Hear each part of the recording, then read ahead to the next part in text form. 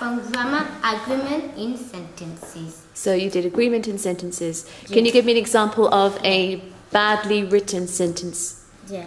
So the boy were told, the boy was told. So it started off as the boy were tall. You changed it to the correct agreement, which was Yeah. the boy was tall. Yes. Good, well done. And do you understand it better? Yeah. Then we done a poem that children say that it was He is like a monster. He is cheeky. He is engineer. He is fine. Is jolly. Yeah. So we were looking at a poem from the famous poets called Rod, child's poet called Roger McGough, and you looked at his poem called "The writer of this poem is," and it used simile. So you're using the same style of writing. Okay. And then we are writing a letter from Alani. So you're writing a letter to Yeah. somebody you know. Alana. Yes. Yes. Dear Alana, you know what happened? Since when you left, the house turned crazy. Alani, Jordan said she had hidden children's keys from the cupboard. Alani said she turned into a cat with a red nose. He also is like a clown. And he is funny. Blanket has killed a chicken. The other chickens ate that chicken. It was horrible. Right back soon. Super. Okay. Today in grammar we learn similes. It is something else to tell a sentence like as fierce as a lion. Okay, so with similes, you are comparing one thing to another thing. So, for instance, the clouds are as fluffy as cotton wool. Yeah? Yeah. So that's exactly what you were doing. And we done more similes. And yeah too. And circle the similes that were in this story like as happy as a king. Okay. And do you know why we were doing similes? What was the connection to why we were doing similes today? To write a poem. Using similes, exactly. Yeah. And the poem I write is He's as tall as a tree, big like a dinosaur. He's cute like a cat, cheeky like a monkey, loud like a crocodile. A, A cockerel? rooster, hmm Always falling like an ant. Who do you think it is? Sergio. And then we write Alana's letter. It is Dear Alani, your name is still Alani. How are you? Here it's been quite crazy since you went. The animals escaped twice. That night Siobhan's mirror broke. Then that morning the food shed broke and pushed the chicken's fence down and they all escaped. It. Blanket killed one and the other chickens were eating her. Did your brother or sister got born yet?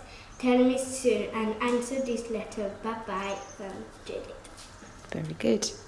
So, six, and where else could the other six be? Okay, check there's six there. One, one, two, three, four, five, six. Good. So link those two together then. We've done that. Brilliant. Now we've got s- how many again? We're here. Six, One. two, three, four, five, six, seven. Okay. Seven matched with That one. That one. Let's check. One, two, three, four, five, six, seven. Okay. No, So that one. There there. were seven there, weren't there? Yeah. And how many was there here? Seven. Seven. So we link those together. Slow it down. Three, How many are here? three. So let's add them together. One, two, three, four, five, six. So what do we write there? Right. That's right. So we put the six in the box. No, wrong box. That one. Right, we'll leave that there because it might be right, okay? We'll see what we have. One, two, three, four, five, six. How many fish have we got there? One, three, four, Four fish. Oh, there's only four. Look, four. One, two, three, four. How many jumpers? Now he's coloring another one. Oh, those are socks. How many socks? One, one, two, three. three, How many jumpers? three, Let's count with me. Five. One, one, two, three, three jumpers. Yes.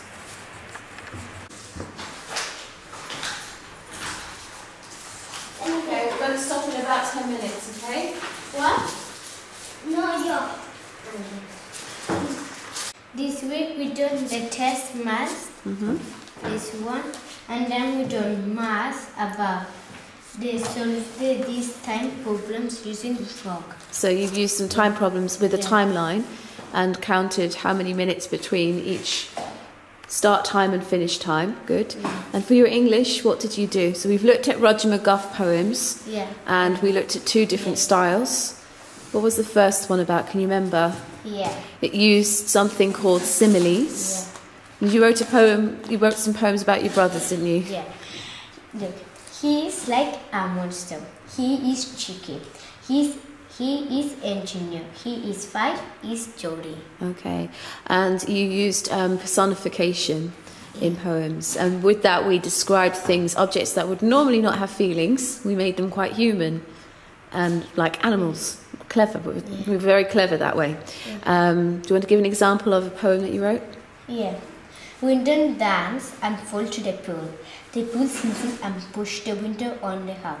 The house sinks and put her to the right place. The window shout he he he.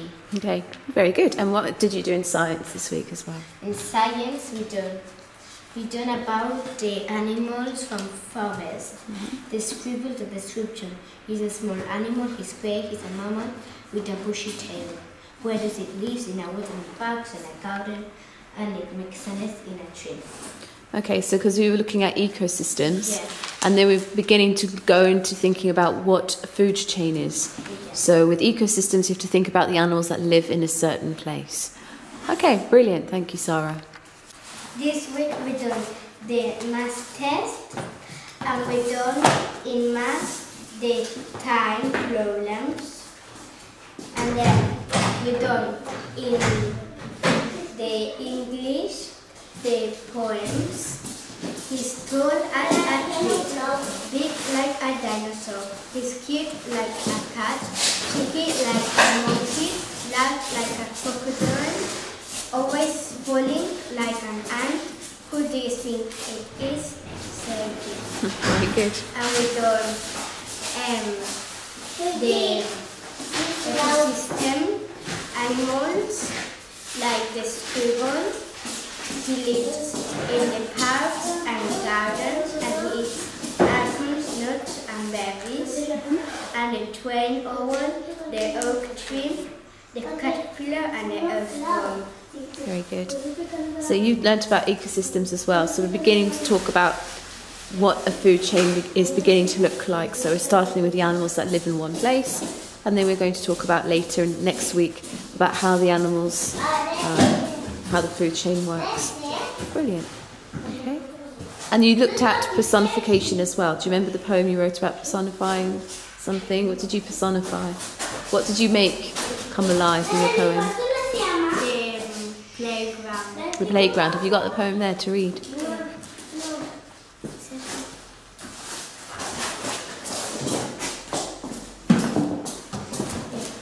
Okay. Just read that. The house talked, the slide walked, the ladder ate paper, the game was breathing. Brilliant. Okay, thank you. So what did you do? What is that? That is that. Into that. Tractor. Tractor. It's a tractor and this is the wheels. Yeah. And then you will see them here. Yeah. Sergi, how many wheels are there? Four. Sergi. One, one, two, three, four. Yeah. And how, um, how do you make this digger? What is that color? Yes, what is that colour? A Pencil or paint? You paint it Yeah. with the paintbrush. Yeah. And what colour is it? Which color? What colour? Which color? Is Red. orange. And Orange. Well done. this is Black. Well done, Sergi.